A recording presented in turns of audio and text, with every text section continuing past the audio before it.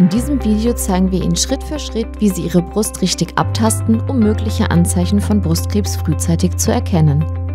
Tasten Sie einmal im Monat Ihre Brüste auf Knoten, Schwellungen oder Verformungen ab. Bei Frauen mit Periode sollte dies am besten jeweils zwei bis drei Tage nach deren Beginn gemacht werden. Heben Sie den Arm. Untersuchen Sie die Brust- und Achselhöhle sowie die Brustfalte nach Veränderungen. Benutzen Sie zum Abtasten nur die Fingerspitzen, am besten in Verbindung mit Massageöl oder Duschgel. Tasten Sie Ihre Brust von unten nach oben, umgekehrt, sowie von der Brustwarze nach außen und kreisförmig ab.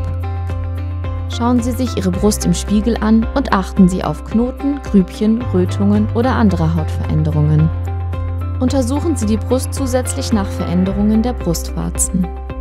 Die häufigsten Auffälligkeiten für Brustkrebs sind eingezogene Brustwarze, sichtbares Geschwulst, Dellen in der Brust, blutartiges Sekret aus der Brust, Veränderungen der Hautbeschaffenheit, Farbveränderung der Brustwarzenhöfe.